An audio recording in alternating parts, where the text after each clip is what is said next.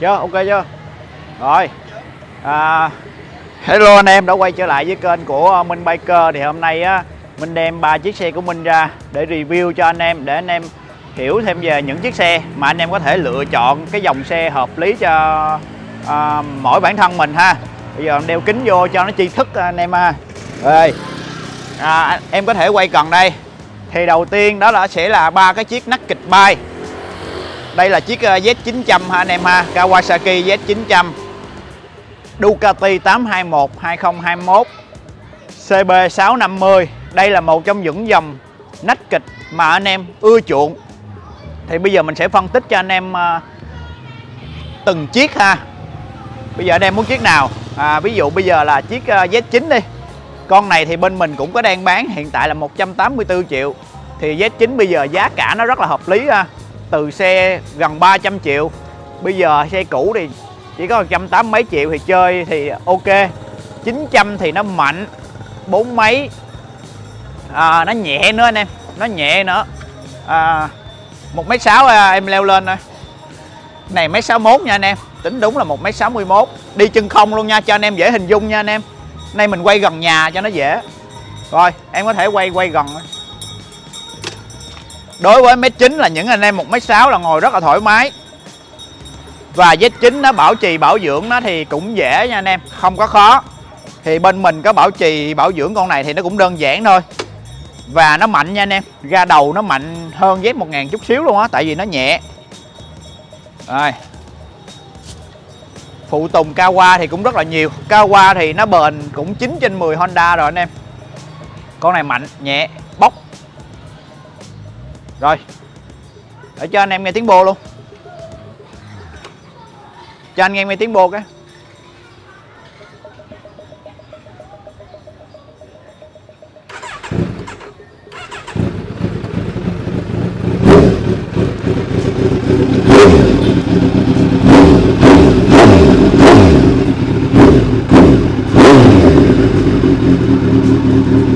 Cái này à, mình mình mình nổ ít thôi, tại vì à, ở trong cái khu mình ở cho nên mình không có nổ nhiều ảnh hưởng tới hàng xóm.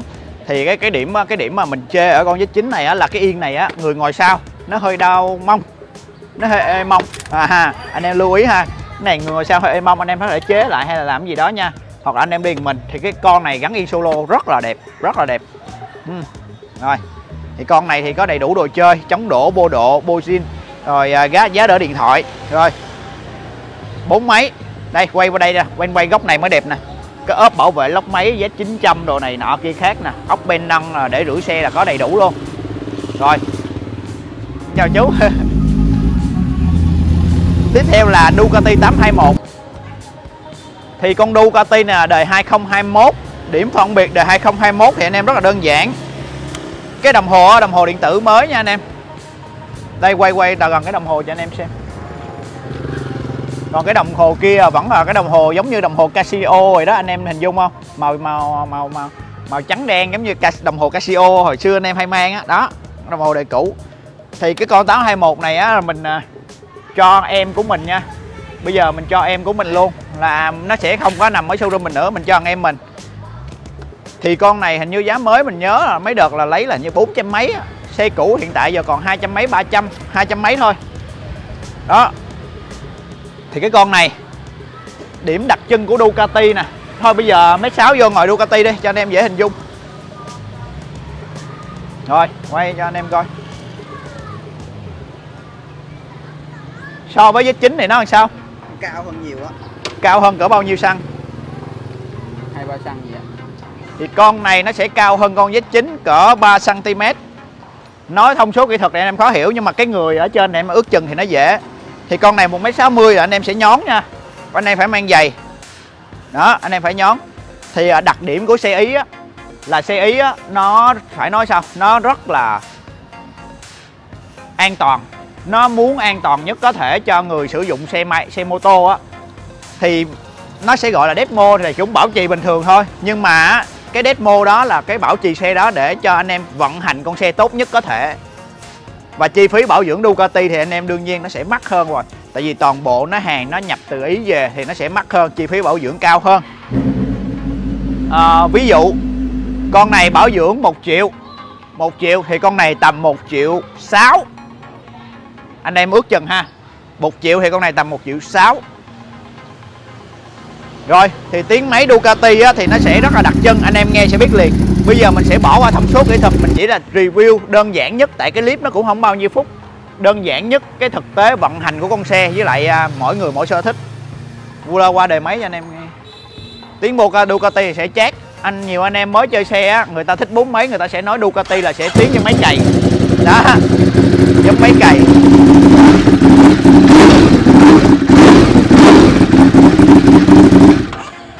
Nó rất là bóc và tất cả cái phụ tùng Ducati á nhìn nó rất là xịn sò. Đó, anh em lưu ý điều đó. À, con này thì chở ghệ thoải mái nhưng mà cái ga đầu rất là hổn. Ga đầu nó cà giật cà giật cà giật giống như con ngựa đó. Đấy là đặc trưng của Ducati rồi.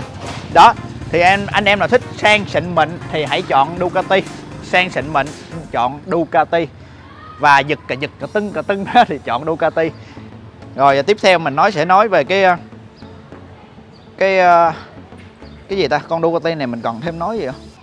Thì nó ra điện đồ này nọ kia khác thì cái đó khỏi bàn cãi. Cái đó anh em phải muốn tìm hiểu nó phải ờ, phải tìm sâu vô. Mà nói sâu á, thì cái clip một hai tiếng á, nó cũng không đủ. Bây giờ mình quay một cái clip 10 phút thì nó chỉ đủ cho anh em những cái cảm nhận về anh em thôi. À, à để, để mình kêu à, này vô. À, bây giờ em chạy Ducati và Z9 rồi thì anh cảm nhận cái Ducati nó khác của Z9 như thế nào? Thì Ducati ra đầu nó giọt hơn ờ, Z9 nhiều nhưng mà đâm hậu và Z9 nó ổn định. Hơn đúng rồi hậu với chính chạy ghê hơn. À, vậy ghê hơn. Rồi cái đó là một cái chia sẻ của anh đệ mình là mình khi mình cho nó trải nghiệm thì nó chia sẻ lại cho anh em. À, còn Ducati nhìn nó vẫn sang ha sang hơn chút xíu đúng không? Giá sang. mà giá cũ con này bây giờ mắc hơn con này rất là nhiều hơn cả trăm triệu á anh em. Thì anh em liệu cơm mà gấp mắm. Mà để mình chia sẻ sao ta? Để mình nói sao về cái Ducati mình muốn nói một cái điều gì đó nữa nói chung là à quên một cái điều lưu ý là Ducati á, nó không có phù hợp cho khí hậu Việt Nam cho lắm nha anh em. Anh em chạy ở Đà Lạt ok chạy ở Sài Gòn nó sẽ hơi nóng á hơi nóng chắc chắn. Nói hơi nóng là nói uh, giảm nói tránh á rất nóng. Rồi một cái con mà quốc dân đó là CB 650 con này thì mình độ đồ chơi khá là nhiều con này thì mình giữ lại mình chơi. Con này à, con này mình bán con này mình cho đứa em mình. Còn con này mình bán nè. Ô oh, lại giữ lại chơi à, mấy sáu lên ngồi thử coi.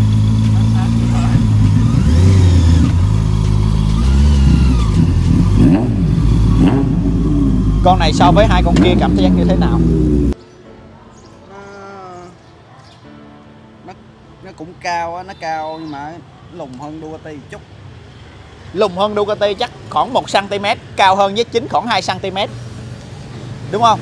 Rồi. Mà con này ngồi thoải mái hơn. Ngồi thoải mái hơn em em biết sao ngồi thoải mái không? Tại vì anh đã lên ghi đông rồi. Nè, quay gần cho anh em xem. Anh đã lên à, cái nâng ghi đông rồi. Tại con này anh lên là để à, dạo phố á. Dạo phố à, rảnh rảnh mình dạo phố cho nó nhẹ nhàng. Đó. Thì con này mình lên heo Rambo ốc titan, ốp, giá đỡ điện thoại, tay Rambo tay con Acosato kính gù gù titanium. Cái gù này không là một triệu mấy nè anh em, gù titan nè rồi là lên tem ốp lóc máy chống đổ. Cây cây bô này là mình à, mình mua full full à, full à, full cái set bô ở dưới đó là mười mấy hai chục triệu á mình quên rồi mình chơi xe mình không nhớ. Rồi à, mình ốp biển số à, giống như MT09 nè anh em cho nó gọn á nhìn cho nó sang xịn mịn xíu. Nhiêu à hình như lên con này gần cả trăm triệu mà anh quên mất rồi. Không nhớ nữa bây giờ số tiền tại vì mình giao cho mấy đứa em nó làm á mình cũng không nhớ nữa thiệt sự luôn anh em mà mình không nhớ không nhớ là bao nhiêu. Đó. Rồi. Thì à, đối với con này thì mình chia sẻ anh em luôn là sẽ yếu. 650 mà. 650 thì sẽ yếu chắc chắn với anh em. 650 thì sẽ yếu. Nó so với bốn mấy thì mình đi dạo phố đi chơi hoặc là anh em mà không thích tốc độ cao thì anh em chọn con này. Đi dạo rồi chở bạn gái đồ á. Tại vì cái yên sau con này nó rất là ngồi rất là thoải mái. Và cái gì kiểu neo sợi bọt này anh em đi đâu nó cũng đầm tính giống như một người như mình á thì à, mình chạy thì cho nó nhẹ nhàng cho nó thoải mái thôi không có gì hết. Anh em nào thích nhẹ nhàng thoải mái thì chọn con này ha. Đó thì con này thì nó có công nghệ nó không có gì nhiều chỉ có cắt uh, chắc control thôi. Hệ thống kiểm soát lực kéo. Thì nói mấy cái công nghệ thì anh em cũng không hình dung đâu tại vì yeah, mình phải tìm hiểu thêm. Ừ. À, à, cho anh em nghe tiếng bô cái bi cái bô mình độ lên. Yoshi hàng riêu xe này chừng nào mà mình cảm thấy mình không thích nữa thì mình bán cho anh em chơi bán rẻ cho anh em chơi. Xe này hầu như mình cũng ít đi đúng không anh em. Lên bộ.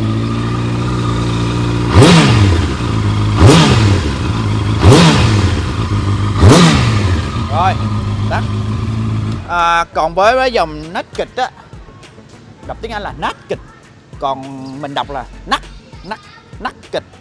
À rồi à, thì à, mình lên cái cặp rốt 5 là sướng nhất. Đi nó ôm nó bám đi nó tốt đi nó ok lắm anh em đó.